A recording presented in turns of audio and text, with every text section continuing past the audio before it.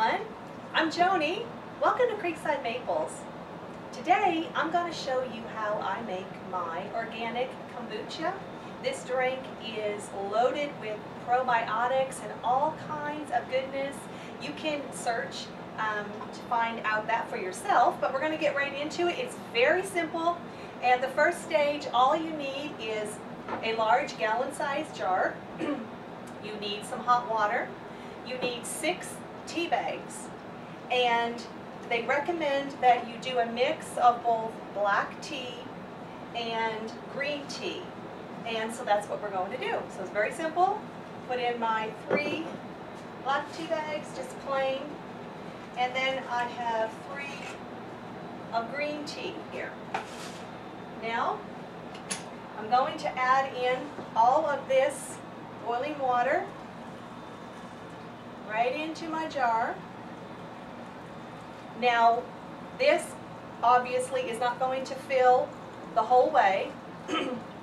and I only do half or this much of the boiling water. This is a time, uh, little time saver that I have found out for myself. So I will explain why in just a minute. This is going to cool down and then I'm going to be right back shortly after this cools a bit and we'll finish up. Don't go away. So welcome back. So what we have done is we have allowed this brew to cool for about 25 minutes. And what I'm going to do now is just simply remove these tea bags. It's important that you don't use metal. You need to use either plastic or a wooden spoon. And I will tell you why in just a little bit when we get to that part.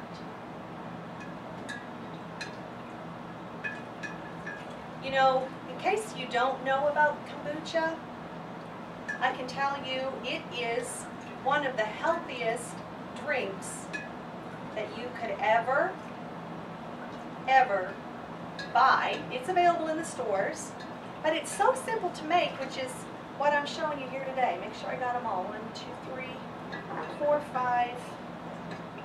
Should have one more left in there. No, one, two, three, four, five, six. We got them. It is so, so very healthy for you and so easy to make. So this basically, obviously, is just some brewed tea. But what we want to do is we want to fill our jar up. So I have some more, you, you want to use non-chlorinated water. So be sure that that is um, available to you if you live in a city and are on town water. Um, you're going to want to go out and buy some bottled water. So fill it up about to, I don't know if you can see, um, we don't want it full yet because we're going to add a little more. Leave, um, you know, a couple inches of space there at the top. Now, we're going to add in one cup of pure cane sugar. You want the pure cane sugar, not your white refined sugar. So stir in one cup to your one gallon of your tea. Again, I have a wooden spoon here. Stir it all up good. And honestly, folks, right now, this would be just a great tea to drink. But remember, we are making kombucha. So the reason that I let it cool and I brought it to more of a room temperature with adding the room temperature water, and now it's, you know, it's room temperature to touch, is because we are going to add in a live culture. Now this is where it gets fun. This is where the magic happens because you are going to add in what is called a SCOBY. Now, if you're brand new to this, like I was not long ago, this can look really kind of um, strange. But what SCOBY stands for is symbiotic culture of bacteria and yeast. And that's exactly what it is. It is this little deal right here. It almost looks like a jelly pancake, if you can see that. Well, if um, my cameraman wants to zoom in a little bit. And you can order one of these on Amazon, you Google. Um, if you have some local health food stores, you can buy them. They're not expensive, but you need one of these. But the key is this has, because it's live, hot water will kill this. This is living, and I have some, some of my starter fluid in here, which is why I did not fill this to the top. So I'm going to add in my starter fluid here the rest of the way. Not spill it.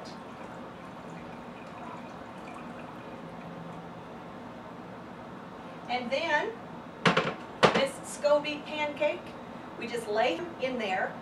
Now, sometimes it floats to the bottom. Do not be worried or alarmed about that. It will eventually, because this is going to ferment for several days, this will rise to the top.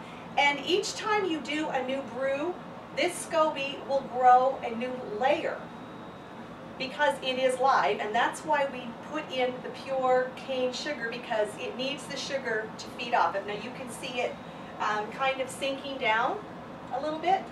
Not a problem at all. This is all you do at this stage. So we've got the gallon of water, you have your six tea bags, three black, three green, one cup of your pure organic cane sugar, your SCOBY, and now just get a, a, a uh, cotton cloth, a linen, a, uh, anything that's kind of breathable, and cover that over. And take an elastic band. It has to breathe. And I just cover that just like this. Now, you are going to want to set this away somewhere in your kitchen. Um, it has to be kept at your normal house temperature. Um, it cannot be uh, out exposed to the light. So if you need to, sometimes what I do is I'll, I will wrap this again with a second towel, set it away, and depending on the temperature in your house, leave this for anywheres from 10, 12, 14 days. You may need 16 or 17 days. So how you're going to know it's done. After 12, 14 days, take the band off, and of course by then that SCOBY is going to have grown another layer. It may look a little odd, uh, maybe a little bubbly.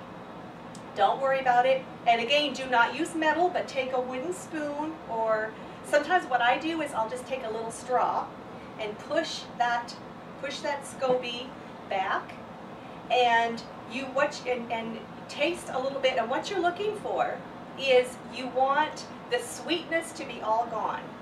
You want it to have just a little bit of a kind of a vinegary taste. And you can tailor this to your preference. Now, again, I was mentioning the benefits. Um, I wrote a few of them down. My uh, memory isn't the best.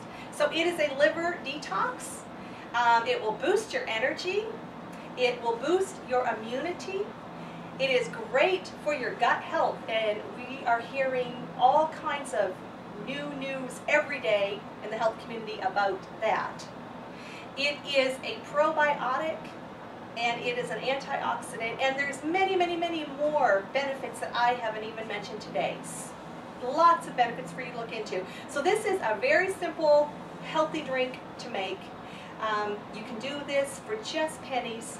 And I know you're going to want to try this. So what I'd like for you to do is leave a comment or two down below and tell us if you have tried kombucha and maybe some of you have already made the kombucha. Um, and just tell us your thoughts on it if you found it's helped you and made a difference in your health.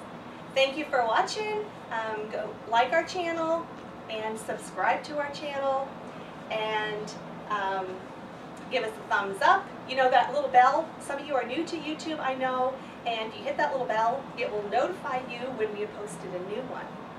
So thank you again. God bless you all. See you in the next one. Hey, before we sign off, this is the cameraman, which happens to be her husband, Tony. Um, can you flavor that? You can, but that is afterwards. That's after this fer- ferment is done. This is the first stage.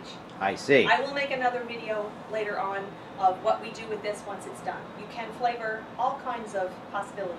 And what room temperature do you think works best?